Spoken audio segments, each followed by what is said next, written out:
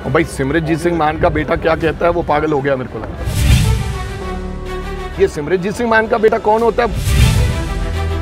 उनको लगता है कि अगर वो चुनाव जीत गए हैं तो वही महानायक है, वही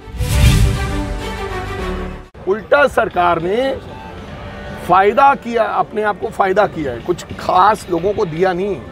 और मेरी गुजारिश है दोबारा फिर जो इन्होंने वादा किया था हर व्यक्ति को 600 यूनिट का उनको दें ना कि घोषणा पत्र लगवाएँ और कंडीशंस लगाएँ। सिमरनजीत सिंह मान का बेटा कहता है कि सिख अजायब घर से भगत सिंह की फ़ोटो उतार देनी चाहिए। आपको क्या लगता है? भाई सिमरनजीत सिंह मान का बेटा क्या कहता है वो पागल हो गया मेरे को लगता है। ऐसी बात नहीं कहनी चाहिए। उनको लगता है कि अगर वो चुनाव जीत गए हैं तो वही महा वो बन गए हैं। वही महानायक है वही बताएँगे क्या होना चाहिए।